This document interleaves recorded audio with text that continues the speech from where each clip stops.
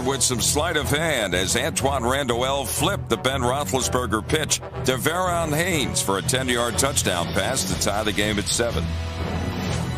Out. Charlie got all with one. Staley end around. Randle El. And Randle El wants to throw the ball. Hines Ward wide open. Touchdown.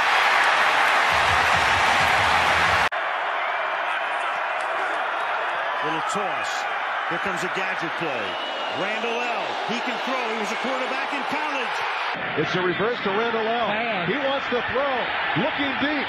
Down the right sideline. Santana's there. Up. Catches it. It's a touchdown.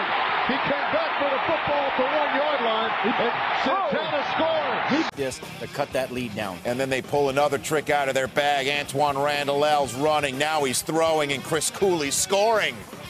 Touchdown, 18 yards on the play. And I don't know how this sort of thing. Man, good play. Steelers eventually would tack on a field goal. They led at halftime 20 to 7.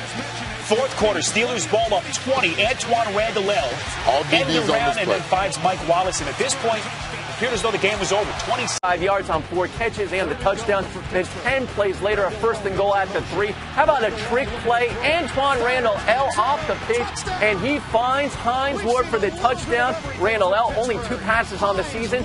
Both